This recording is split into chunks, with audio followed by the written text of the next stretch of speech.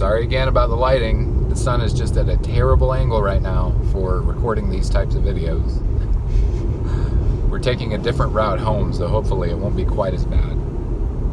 So, we started looking at a second duplex in Kittrell uh, in December. I think it was De- it was November or December, and uh, it was actually in uh, in a development with five other duplexes, and and two of those duplexes had already been purchased by another investor who works with our property manager.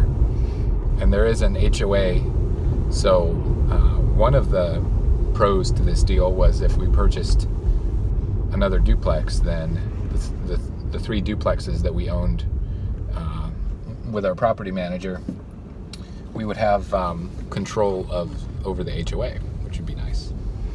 Um, so that was one benefit. The other was his other investor was already making money off of his, and they had turned out pretty positive so far. And they were all built at the same time and in the same style and that kind of thing. So seemed like uh, seemed like an interesting thing. Uh, we did a little bit of negotiating with the seller because they were asking a higher price than they should have been for the unit, given the condition that it was in. Um, especially given the fact that the roof is going to need replacing soon. The HVAC system will almost certainly need replacing soon on both sides.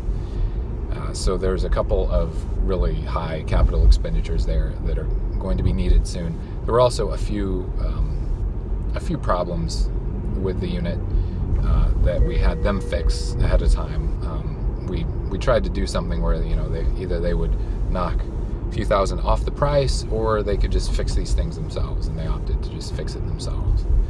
So uh, so we closed this month. Um, there's already tenants on both sides, and they're happy staying. Uh, they're actually already using the same online system to pay their rent that our property manager uses. So that's nice. They won't have to change into a new system or get used to anything that's different. And uh, yeah, so short term plans are to fix a few more of the minor things that are wrong with it. And uh, long term plans are to replace the HVAC units and the roof when those need to re- be replaced, Should probably be sooner rather than later. And um, yeah, that's about it. This one's actually a little more boring than the Franklinton one because uh, it doesn't come with extra land and mobile homes, and uh, they don't need to be like completely revamped. Yeah. But we drove up there and, and checked them out the other day uh, before closing. Um, walked through each unit. Mhm. What did you think of them? I thought they were nice. They're cute. Just like you said, a few minor repairs, like the cabinets in the bathroom were not actually sealed, or it seemed like they weren't even attached to the wall. Like they're Yeah. just sitting there, and they kind of wobble when you move The, them. the vanities were not attached to the cabinets, and the cabinets were not attached to the walls, which overall seems like a disaster waiting to happen. yeah. Uh, and the funny thing was, our property manager was with us, and he, he, the tenants were there too, and he was like, "Hey, did you know this is happening?" And they acted kind of like, Whatever. "Whatever, no big deal." He said, "Take some photos and send me an email, and I'll get this fixed." So, don't you want this fixed? I would want it fixed if I lived there. I dropped my toothbrush down that crack. It's pretty amazing though how like it seems like a lot of landlords will let their properties fall into disrepair and just don't care about fixing them, which makes no sense to me because the small stuff is not that expensive to fix.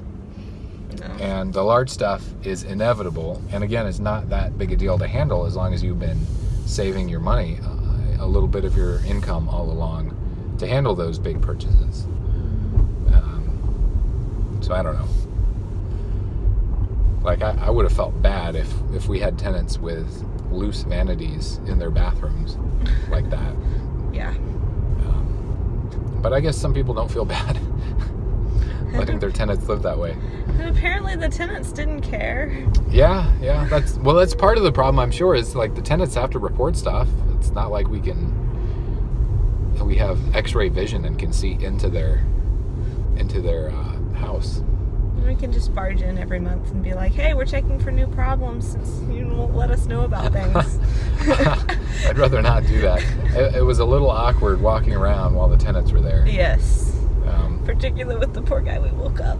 yeah, one one fellow worked night shift, and he he had clearly just we had woken him up. Um, it was around eleven o'clock, I guess, so he was probably in the middle of his sleep. oh well. Um, hopefully, we'll make it up to him by fixing up the place better than it is now.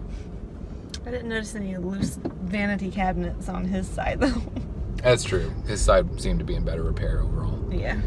There was a huge swath of land near these five duplexes, and um, initially we were thinking, "Wow, who owns that? We should buy that and build on it." And then, and then our property manager showed up and he said, "Oh no, that's That's, that's the the septic, septic field." oh man, it's a big septic field, so we can't do anything with that. Oh well.